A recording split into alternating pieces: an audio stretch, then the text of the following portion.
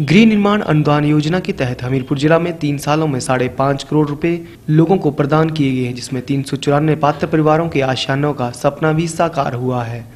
वर्तमान प्रदेश सरकार ने मुख्यमंत्री जयराम ठाकुर के नेतृत्व में ग्रामीण व शहरी क्षेत्रों में विभिन्न आवास योजनाओं के तहत दस हज़ार नए आवासों के निर्माण का लक्ष्य रखा गया है। स्वर्ण जयंती आश्रय योजना के तहत अनुसूचित जाति के पात्र व्यक्तियों के लिए इक्यावन आवास निर्मित किए जाएँगे। मुख्यमंत्री आवास योजना के तहत इकतीस प्रधानमंत्री आवास योजना शहरी के तहत एक हज़ार तथा प्रधानमंत्री आवास योजना ग्रामीण के तहत 800 आवास निर्मित किए जाएँगे।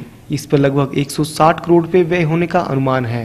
प्रदेश में गत तीन सालों में सामाजिक व आर्थिक रूप से बेघर लोगों को प्रधानमंत्री आवास योजना के तहत गृह निर्माण के लिए 48 करोड़ 35 लाख रुपए की राशि प्रदान कर तीन हज़ार तीन सौ बावन मकान निर्मित किए गए हैं। हमीरपुर जिला में भी विभिन्न आवास योजनाओं के तहत पात्र परिवारों को गृह निर्माण के लिए आर्थिक सहायता प्रदान की जा रही है।